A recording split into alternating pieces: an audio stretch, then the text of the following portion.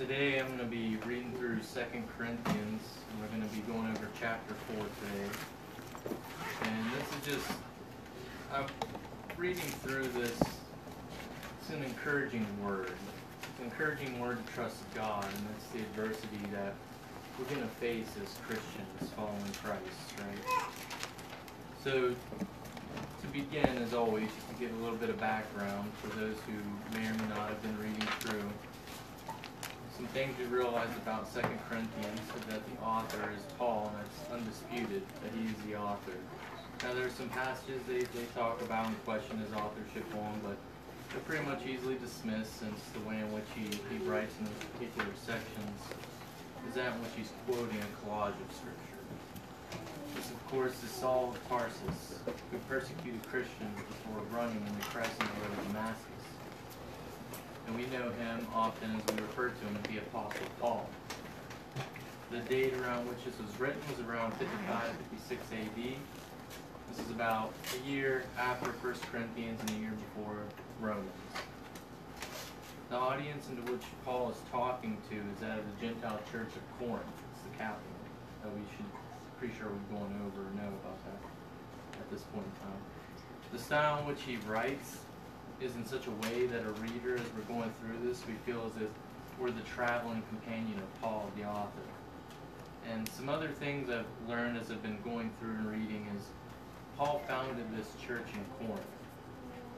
It's his most personal letter, many would say, and it's hard to read because of the painful tension between Paul and the Corinthian church there. His original travel plans were that he was going to go from Ephesus to Macedonia and then to Corinth. And of course, we know he had a lot of travels and some missionary journeys that he went through. He sends Timothy to Corinth, and he, of course, comes back and he informs him of the, the church's dire situation that it's in, and it's a result of the enemies of the church, enemies of Paul at the time. And so he ends up going to Corinth itself directly. And his trip was painful because the church was openly rebellious against him in his teaching of the gospel. And so as we read throughout Second Corinthians, we see that it's a lot of Paul um, basically just defending his the fact that he's an apostle, he's a disciple of Christ. There are many that argued or questioned his motives. Right? There's partially we read uh, in the journeys he was collecting, right, givings, things of that matter, to carry it over into Judea because there was a hardship that some of the others that were going through, and he was trying to help alleviate that people questioned his motives all around, his personal courage. He said he suffered too much to be a disciple of Christ. They looked at his life, they ran into those that were known as the super apostles we've heard about before, these false teachers who others would look at and, then how they live, or that they had this secret message, right, or secret knowledge. And of course, later on, Paul returns to Ephesus and sends a letter back with Titus, another companion and it warns them that God's judgment will come unless they repent, and of course they do indeed repent, the majority. So Paul had to go through a lot of stuff, and as we read through Second Corinthians, I'm sure we'll pick up on that. And I think it's just an encouraging word to bring to everyone here, because in our life we encounter many things like that, living as Christ did, living as Paul did, who did exactly what he should. Everything he taught, everything he lived, everything he did was mimicking Christ likeness to a world that needs to see that. Some of the themes um, that I picked up on primarily in reading through some of the commentaries and texts is that there's a, a greater glory of the new covenant in contrast to the old. So we see that previously in the chapter we read the other day in chapter 3, or two days ago chapter 3 where it talks about how if there was such a glory given to the law, how much greater to something that gives life. Mm-hmm. The glory of the gospel and the weakness of its ministers. Paul constantly shows how he's weakness and he boasts in that. He shows that we're brokener than vessels and that how amazing that a powerful word is able to transform others mm-hmm. in their lives. And it's only because it's not of what he says or does or work, it's Christ working through him, and only mm-hmm. Christ who can bring that about. A theme of endurance amid adversity and Christ-like behavior that's made possible by the grace of God And it's the greatest display of God's presence, power, and glory in this world in which we live, in the fallen, sinful world. In the theme of repentance expressing itself in holiness, it's defined as a purity producing love for God and His church and unity creating love for one's neighbor. So I want to go ahead and begin by going and reading chapter 4, verses 1 through 6. I'll go ahead and I'll have Sean, why don't you go ahead and read that for us? Therefore, since we have this ministry because we were shown mercy, we do not give up. Instead, we have renounced secret and shameful things, not and not acting deceitfully or distorting the word of God, but commending ourselves before, uh, commending ourselves before God to everyone's conscience by an open display of the truth. But if our gospel is veiled, it is veiled to those who are perishing. In their case, the God of this age has blinded the minds of the unbelievers to keep them from seeing the light of the gospel of the glory of Christ, who is the image of God. For we are not proclaiming ourselves, but Jesus Christ is Jesus Christ is Lord, and ourselves as your servants for Jesus' sake. For God, who said, "Let light shine out of darkness," has shown in our hearts to give the light of the knowledge of the of God's glory in the face of Jesus Christ. Thanks. I'm going to go ahead and go back through verses 1 and 2 again. But therefore, having this ministry by the mercy of God, we do not lose heart. Or Sean's verse, his version said, Do not give up. But we have renounced disgraceful, underhanded ways. We refuse to practice cunning or to tamper with God's word. But by the open statement of the truth, we would commend ourselves to everyone's conscience in the sight of God. Paul's saying what we all need to listen to that we should not lose heart or not give up. That the only reason he has this ministry is by the mercy of God. And as I spoke of before, he always likes to show his weakness to magnify God's Mhm. glory and his greatness. We know that ministry can be very tough, and Paul reminds us not to lose heart. He says we don't tamper with the word of God, which we all here would agree with, realizing this is the written word of God and not Mhm. the words of men. He's also speaking, as I gave the context earlier, to the naysayers of his day as well, to those who question his motives in his life. He's not motivated as some would read in their in their word that by money or other means. He's speaking to the false teachers when he states verse two. He's saying we don't tamper with the word of God. it's the open statement of the truth we will commend ourselves before the conscience sight of God. So he's he's showing that it's only by God that he's able to do things. He's giving mm-hmm. glory to him and he refuses to change the word of God in any manner apart from its true meaning. He's not gonna dilute it or change it for its hearer's liking.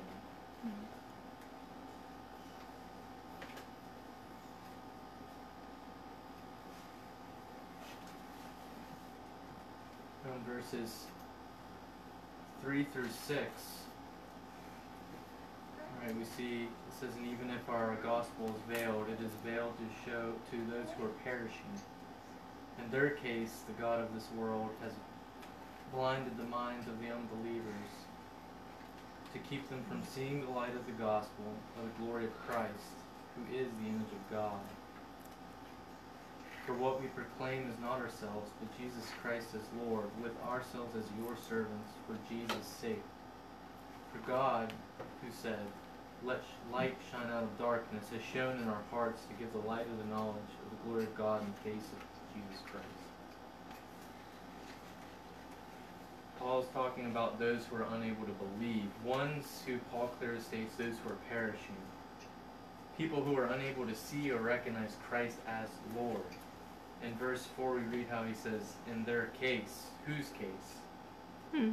The ones who cannot recognize Christ for who he is, the image of God.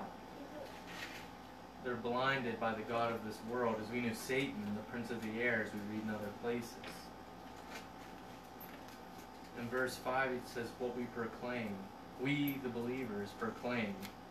is that we're not Lord, right? But Christ is Lord. Christ is God. And verse 6 shows God said, Let light shine out of darkness. God made it possible for us to be transformed and recognize who He is. So we realize that we should not lose heart but take courage and trust in God, realizing He's sovereign over all. And as such, God will bring about His plan of redemption, a new creation amidst this sinful world, amongst this fallen world. And this should make us feel encouraged that regardless of the world's reaction to what we have to tell them, we should have that growing desire to share the gospel, the truth, more each day with a world in dire need.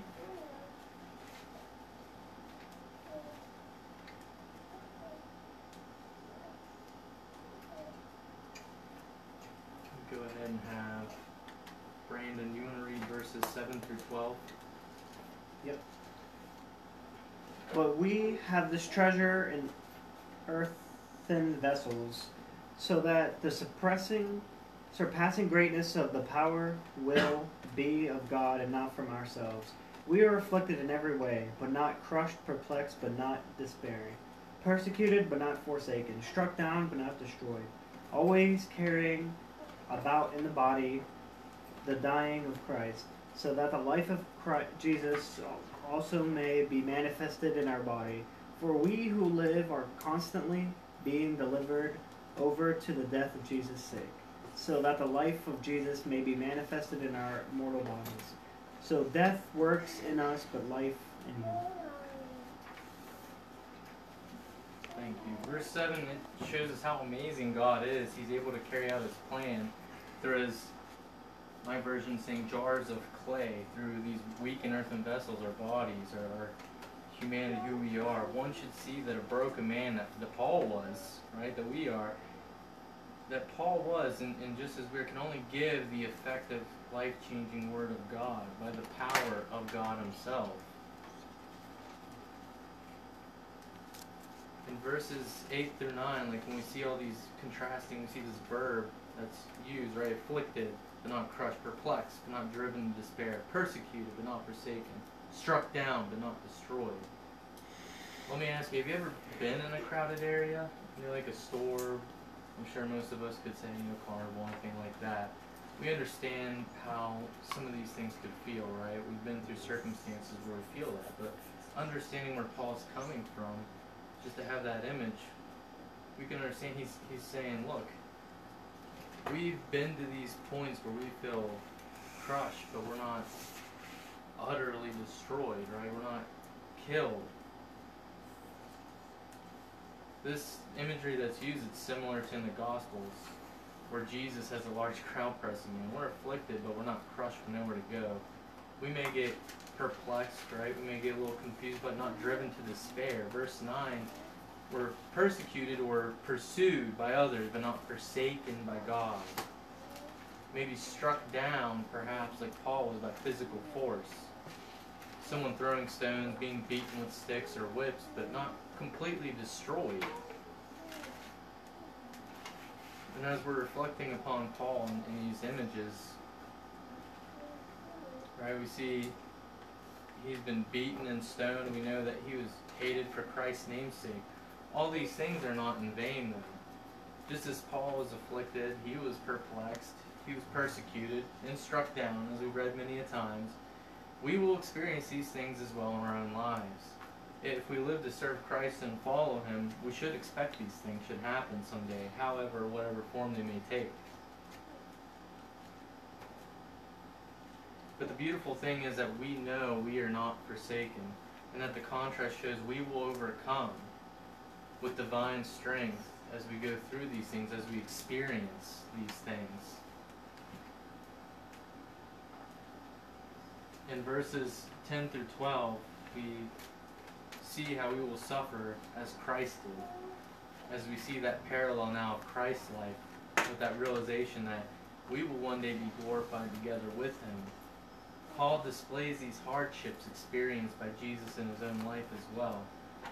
He was willing to suffer, to endure adversity, so that he may spread the powerful and salvific message of the gospel to the Corinthians and others. We too should should want that, should want verse 11 to 12. To live is always being given over to death for Jesus' sake, so that the life of Christ may be manifest in our own mortal flesh, we may bring others to see, to believe the Word of God.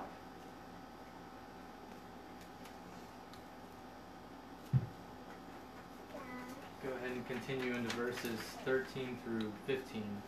Here we have this summary. Since we have the same spirit of faith, according to what has been written, I believe and so I spoke. We also believe and so we also speak. Knowing that he who raised the Lord Jesus will raise us also with Jesus and bring us with you into his presence. For it is all for your sake, so that as grace extends to more and more people, it may increase thanksgiving to the glory of God. Paul summarizing how we too should have faith according to what is written here in the Bible, that we should trust God and hold to our proclamation of faith as we see that power in Christ's resurrection and its meaning to us and to others. Mm-hmm. He realized that he too would be resurrected along with the Corinthians, who would all give God glorifying thanksgiving to the one who saved them. We saw this in the in the Old Testament, as we all know, just brought to mind how Abraham, and it talks about that in various places, and one being in Hebrews, where he considered that God was able even to raise him from the dead, from which, figuratively speaking, he did receive him back. So it's just amazing. We always see these things all throughout the scripture. We see it in Old Testament and New Testament. Except now Paul speaks as part of the new covenant. He realizes what Christ has done as he looks forward to that, an increasing number of praises from those who respond, an increasing number to the gospel message that he's given.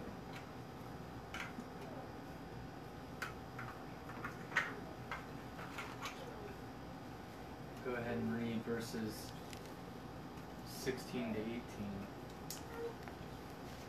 So we do not lose heart. Though our outer self is wasting away, our inner self is being renewed day by day. For this light momentary affliction is preparing for us an eternal weight of glory beyond all comparison. As we look not to the things that are seen, but to the things that are unseen. For the things that are seen are transient, but the things that are unseen are eternal. This is the second time we see in this chapter where he states we do not lose heart, whereas earlier we, we heard the translation, we do not give up. Paul is showing how though our outer self, our outer man, our physical, essentially visible bodies are passing from this life, we have something more precious which is unseen.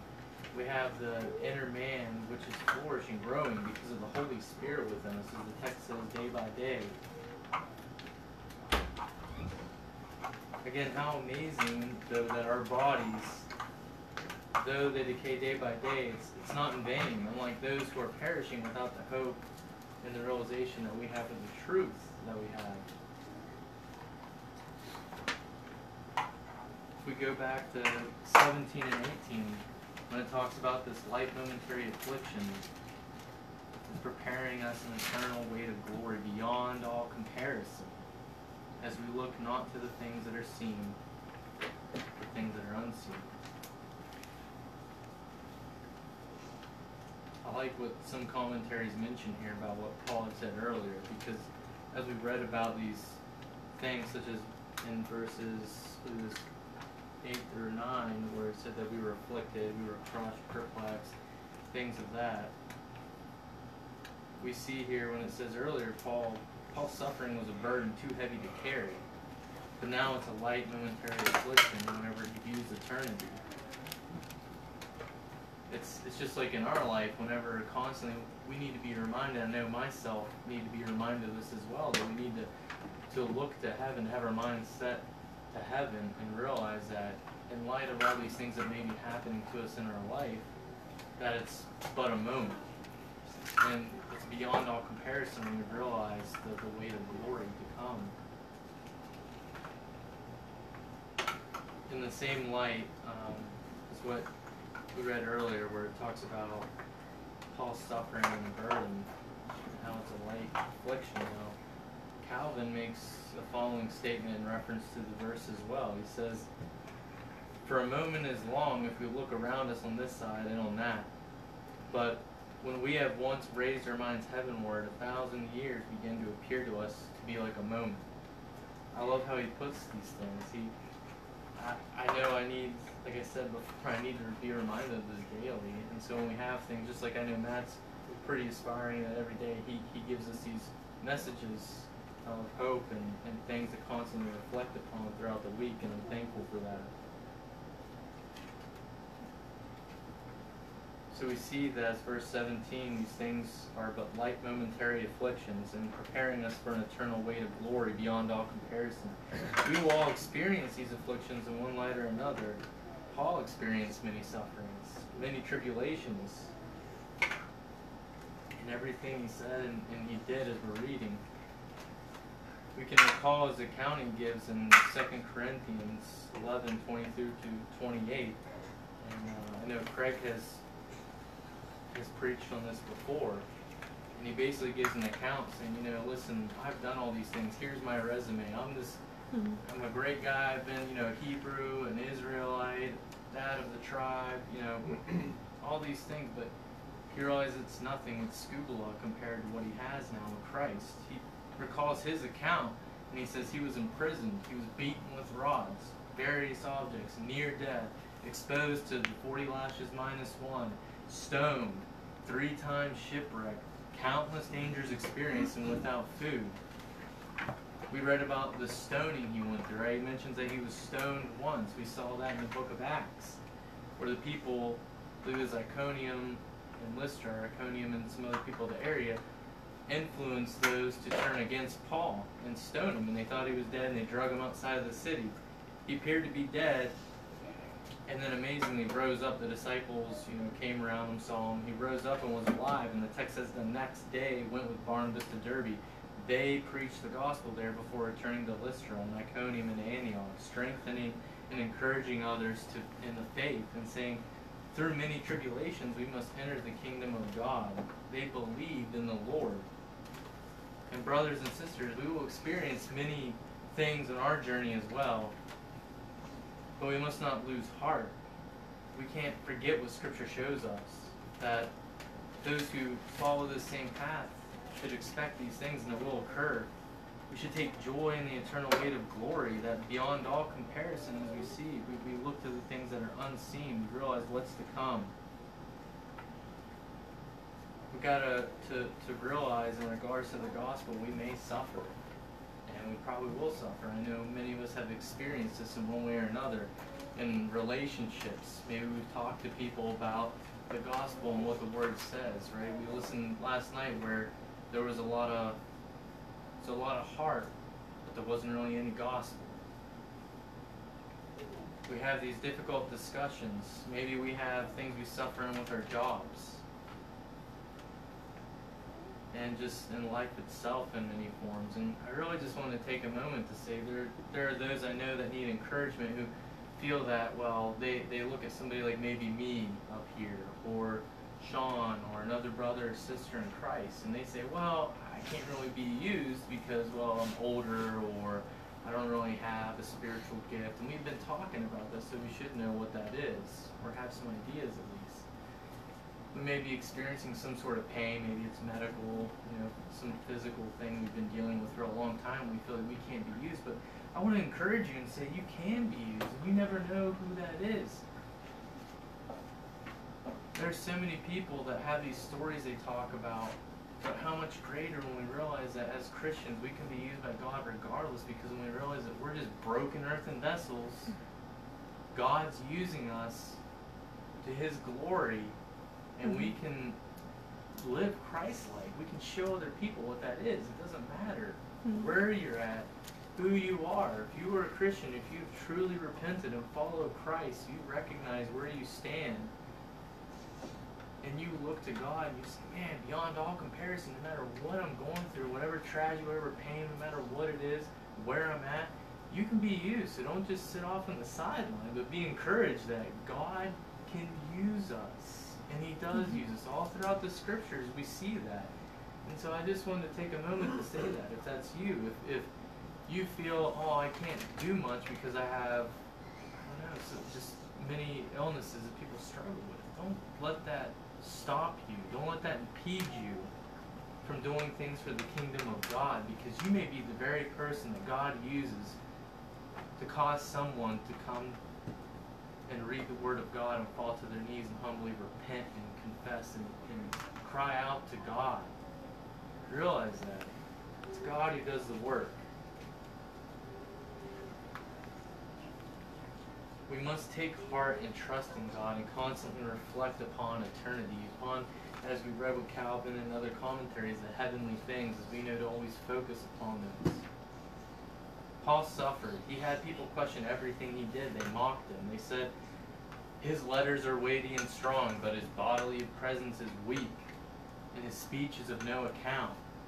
Right? That's from 2 Corinthians 10.10, so Brandon and other people reading ahead. Um, it's it's tough. It's a rough thing, you know. He, there was a lot of things people experienced, but don't let that discourage you. Don't give up. You've gotta take heart. I have to remind myself of that as well, because I struggle with just as many things as anyone else here. There's things daily that I need to pray for and be prayed for. He went through all these things. He had a church that he founded that openly rebelled against him. People have been won over by these super apostles and these false teachers for a time, we see. But thankfully, by the grace of God, many eventually repented, as it says. Mm-hmm. It, it was the majority, though there were still the minority that followed other leaders that opposed Paul and his gospel that he gave. He essentially rejected the gospel. He went and, of course, wrote another letter because he knew Mhm. these things. But we just need to be aware of it. God is still working. Mhm. God is doing things, even if we see it or not. As it says, we, we look to the things that are unseen, aren't- and the unseen they are that are unseen are eternal. We gotta look to Paul as an example of just one of our brothers in Christ. More importantly, to Christ, whom we should all hope to become more like with each passing day. Mhm. And we gotta realize that we just need to count it all as joy as we realize these things we experience are not new, but reflect the life we're gonna experience and if they too have truly repented and followed Christ, we should just count that all as joy and, and know that the numbers are going to increase and they were going to glorify God and thank God for the salvation they had. Mm. So I just wanted to to share that with everyone today. That I just hope it's encouraging. That's an encouraging message. Is one we we see what other brothers of the faith have gone through in their lives and realize that we have the light, as mm. it says of the gospel, the true gospel. That though we may feel a certain way about our circumstance or life, that God's sovereign over over Mhm. these bodies of ours that we have, these jars of clay, and He's going to sovereignly save the elect, the others. We will experience these trials, but as people look at us in our own lives and as a church, I pray that they too would realize, as the people of Corinth did, that such broken vessels we may be, the only reason the amazing life giving message is effective is not due to our speech and our works, but that the transforming power of the Word is a result of God Himself using us and working through us. We realize that life is but a mist as we read, and we'll experience these afflictions, but we need to constantly reflect and realize that's beyond comparison to the joys to come. Remember what Christ has done for us, how he redeemed us from our sinful ways and bore the wrath of God upon the cross. So we need to go out and spread the truth of the gospel and realize no matter what the outcome may be, we know what's to come. Trust in God and don't lose heart to a blind and dying world. Grow in urgency to spread the word regardless of the cost.